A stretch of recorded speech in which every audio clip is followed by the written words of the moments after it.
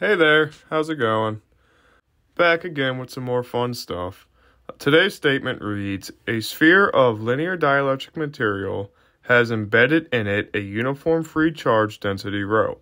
Find the potential at the center of the sphere relative to infinity if its radius is r and the dielectric constant is epsilon r.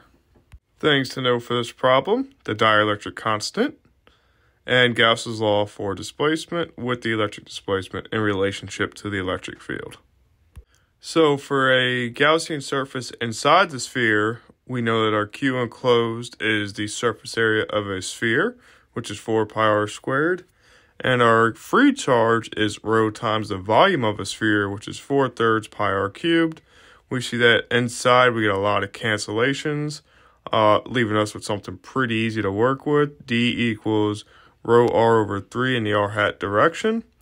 Therefore, the electric field inside the sphere is d over epsilon, and it simplifies down to this. Instead of keeping epsilon in the denominator, we decide to substitute in the uh, equivalent relation of the dielectric constant with the permittivity of free space. Similarly, for outside, where little r is greater than capital R, we see that we have a Gaussian surface, which is again a sphere, and we have d times the surface area of a sphere, which is 4 pi r squared.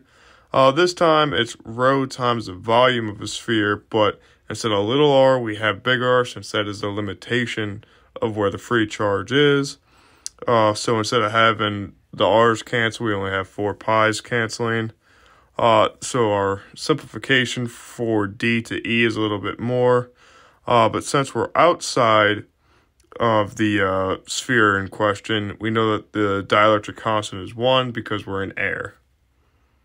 Okay, so finding the potential at the center.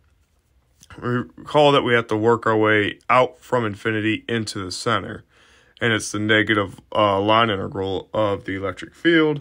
So set that up for the appropriate bounds from infinity to the outer radius of the sphere. We have the electric field on the outside and from the uh, radius of the sphere to the center, we have the electric field on the inside. Substitute in the appropriate terms. And we see that pretty much the electric fields are just a bunch of constants. Uh, but we still have to integrate with respect to r. So we only have uh, r to the negative 2 integral and an r integral. Evaluating these integrals leaves us with uh, this here where we cancel out a couple of negative signs and we have to now evaluate them. Uh, we know that 1 over infinity goes to 0 and 0 squared is 0, so 0 over anything is 0, um, unless you're dividing by 0, but we're not. Uh, so here we just factor out a rho over 3 epsilon naught, um, and then we can cancel down even more. We note that the r in the denominator cancels with an r in the numerator, so we then are able to factor out an r squared leaving us with the expression we see in the box, and that will conclude our potential.